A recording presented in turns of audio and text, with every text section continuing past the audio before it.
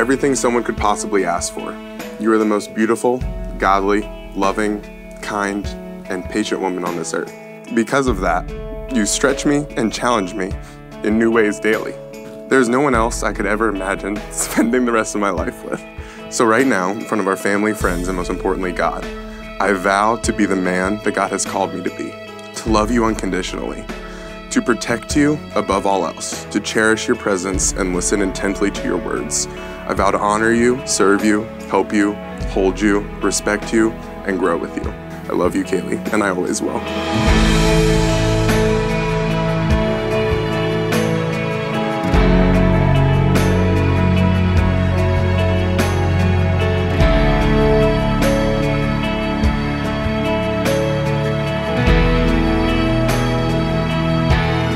I stand here with you today in front of all of our family and friends, I can't help but thank God for His perfect timing. I have prayed for you since I was a teenager, before I even knew your name, and now that I know that it's you, I see my answered prayer in front of me.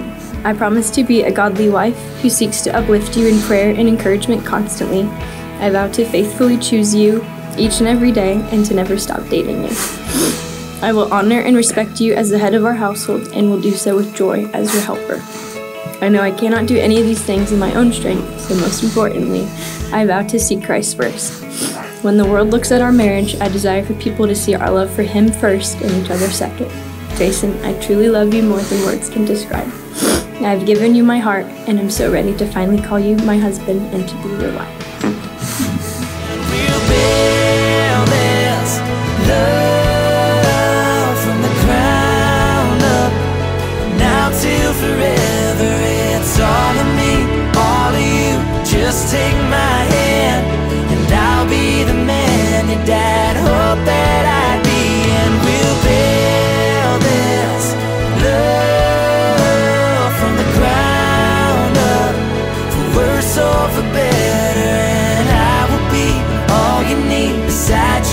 You, I'll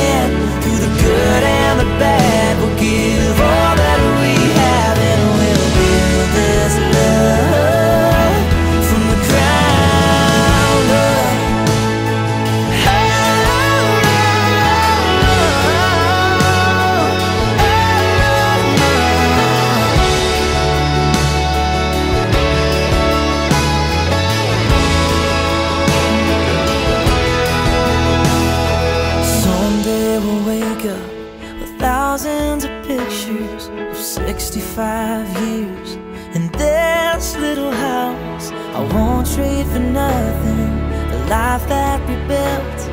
I'll kiss you goodnight and say I love you still, and we'll build